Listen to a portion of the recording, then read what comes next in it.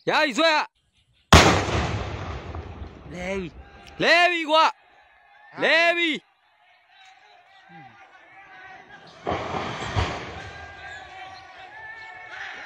လဲပြီရလိုက်လဲ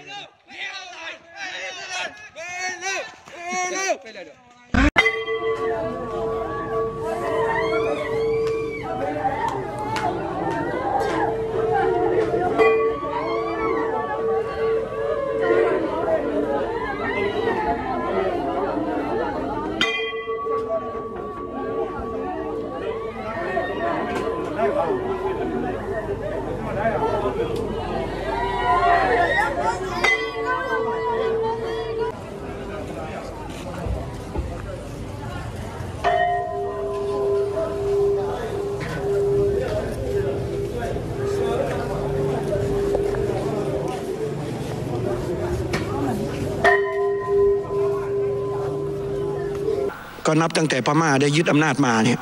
ก็ไม่ใช่ครั้งนี้ครั้งเดียว ก็ยังมีความลับๆล่อๆอยู่หลายเรื่อง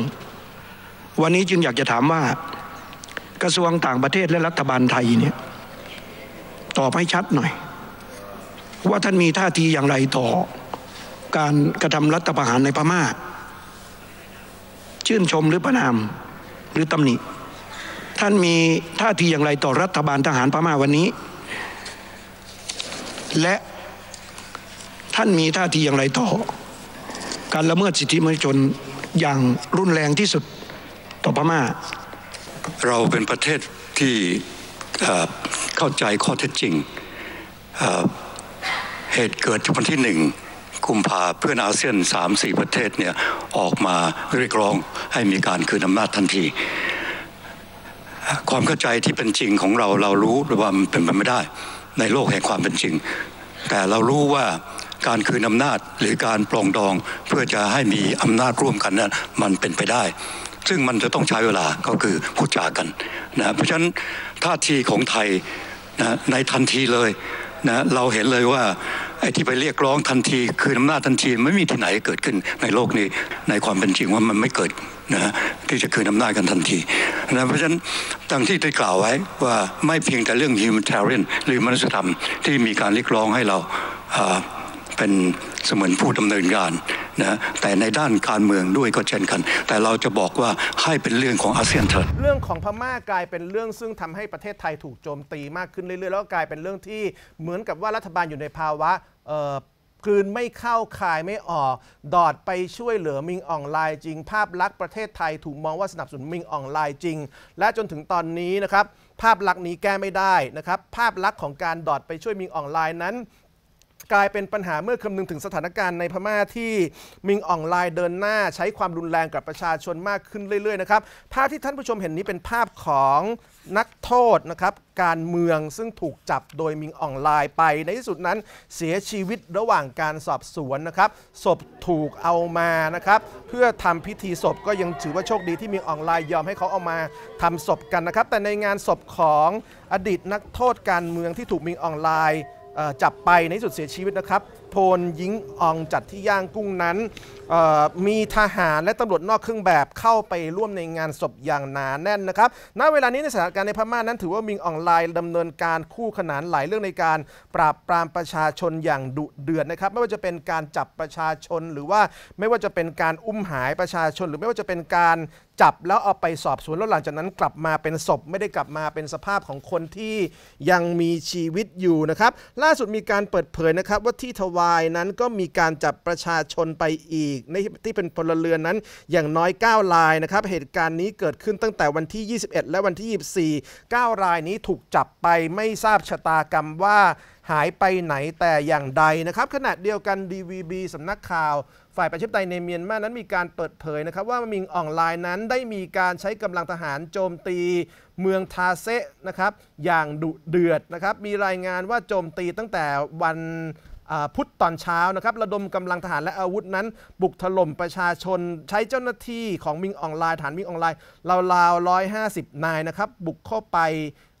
ในหมู่บ้านต่างๆ ที่หมู่บ้านคันตูมานะครับและอีก 70รายบุกไปอีกที่หมู่บ้านหนึ่งนะครับรวม 3 หมู่บ้าน 4 หมู่บ้านที่ถูกบุกนั้น มีกำลังพลของทหารโจมตีประชาชนทั้งสิ้นเกือบจะ 700 นายนะครับในการไล่ล่าประชาชนณเวลานี้มีรายงานนะครับว่าการโจมตีที่เมืองทาเซหรือที่เมืองดีพายินนั้น มีชาวบ้านเสียชีวิตอย่างน้อยแล้ว5รายหนึ่งในนั้นเป็นผู้หญิงที่ท้องอยู่ด้วยนี่คือการรายงานข่าวของสำนักข่าวดี DVB ของประเทศพม่านะครับขณะเดียวกันการต่อต้านมีออนไลน์ในหลายจุด ก็ยังคงเกิดขึ้นทั่วประเทศพม่าในรูปแบบของการเดินขบวนในลักษณะต่างๆนะครับ เช่นเดียวกับการวางระเบิดนะครับของฝ่ายประชาชนเพื่อตอบโต้กองทัพของมิงออนไลน์ก็ยังคงเกิดขึ้นอย่างต่อเนื่องนะครับ เป็นปฏิบัติการที่ มีตั้งแต่การวางระเบิดรถตำรวจบนเส้นทางจากย่างกุ้งไปทวาย ซึ่งสื่อเมียนมานั้นรายงานว่ารถระเบิดนั้นเออรถเจ้าหน้าที่ตำรวจนั้นถูกวางระเบิดไปอย่างน้อย 5 คันนะครับ มีการรายงานอีกรายงานหนึ่งพูดถึงการปะทะกันระหว่างทัพคาเรนีกับกองกำลังของมิงอ่องไลน์นะครับ ซึ่งก็ มีประชาชนเสียชีวิตไปอย่างน้อย 3 รายเช่นเดียวกัน ดังนั้นการที่มิงอ่องไลน์เดินหน้า ปราบปรามประชาชนอย่างดุเดือดนะครับ จับผู้บริสุทธิ์ไปอุ้มหายฆ่ากลับมาแล้วตาย เผาหมู่บ้าน เผารัฐชินซ้ำซากนั้น ภาพลักษณ์ของประเทศไทยซึ่งกลายเป็นแมสเซนเจอร์ในการเอาของไปส่ง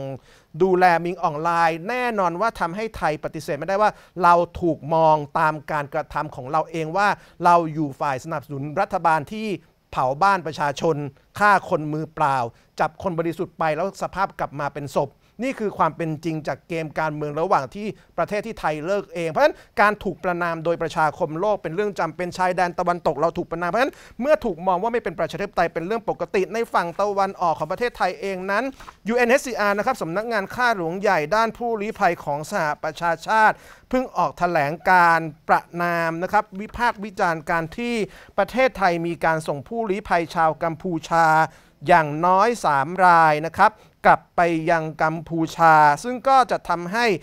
ราวกับว่าไทยเป็นประเทศซึ่งส่งผู้ลี้ภัยกลับไปตาย กลับไปถูกดำเนินคดีนะครับ เหตุการณ์นี้ถือว่าเป็นอีกครั้งหนึ่งที่ประเทศไทยนั้น ถูกวิพากษ์วิจารณ์ว่า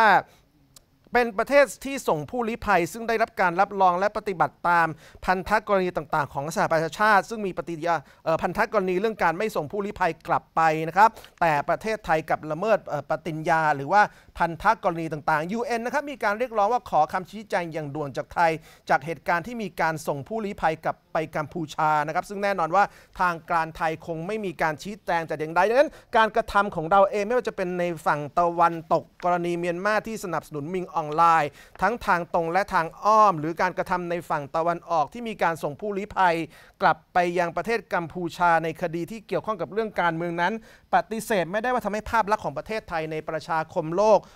เสียหายอย่างย่อยยับนะครับหรือแม้กระทั่งในเรื่องของประเทศไทยเองการที่ประเทศไทยมีการจับรุ้งปนัสยา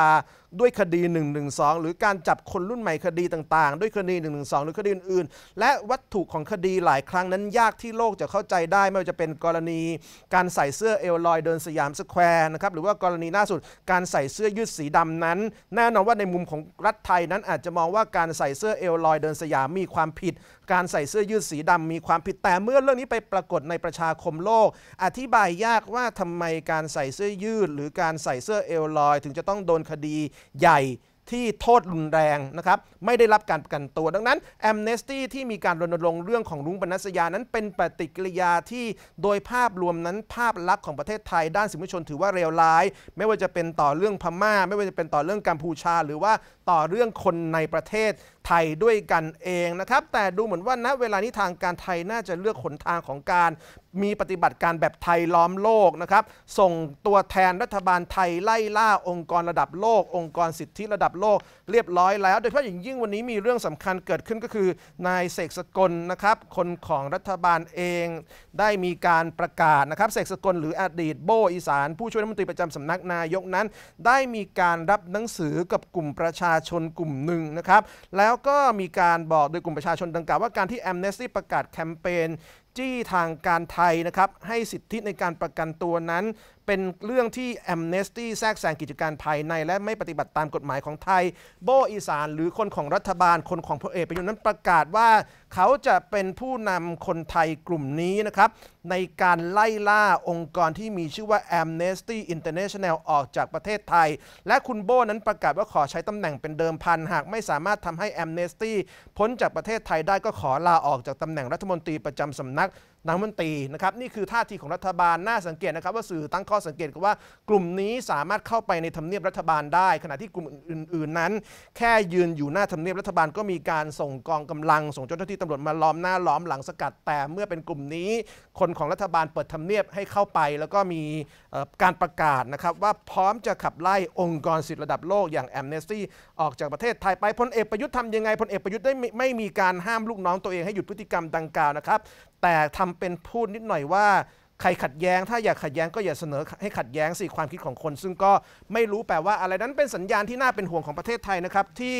แน่นอนว่าองค์กรโลกไม่ว่าจะเป็น UN หรือ UNHCR หรือ Amnesty นั้นเขาไม่ได้มีปัญหากับคนไทย หรือว่าประเทศไทยในฐานะประเทศไทยเอง แต่ว่าพฤติกรรมของรัฐบาลไม่ว่าจะเป็นกับคนในประเทศไทยเอง พฤติกรรมของรัฐบาลที่ถูกมองว่าสนับสนุนเผด็จการ เพื่อนบ้านอย่างมิงออนไลน์นะครับหรือแม้กระทั่งพฤติกรรมของการส่งผู้ลี้ภัยกลับไปยังกัมพูชานั้น ไม่มีทางที่นานาอารยประเทศ จะมองว่าประเทศไทยเป็นประเทศซึ่งเคารพสิทธิมนุษยชน และให้เกียรติหรือยอมรับได้จากการกระทำของรัฐบาลนั้นสถานการณ์ประเทศไทยตอนนี้น่าเป็นห่วงนะครับเป็นสถานการณ์ที่ องค์กรระดับโลกวิพากษ์วิจารณ์เยอะและดูเหมือนว่าแทนที่ทางการไทยนั้นจะฟังและทบทวนกับกลายเป็น มีการใช้คนของรัฐบาลปลุกปั่นขับไล่องค์กรสิทธิระดับโลก ผมไม่เคยเห็นประเทศไทยยุคไหนเป็นแบบนี้นะครับ